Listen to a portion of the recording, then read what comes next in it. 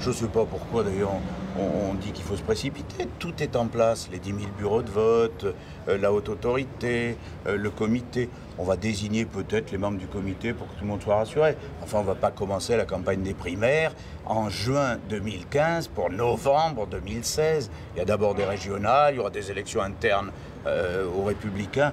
Voilà, chaque chose en son temps, mais que personne ne s'inquiète, personne ne sera maltraité.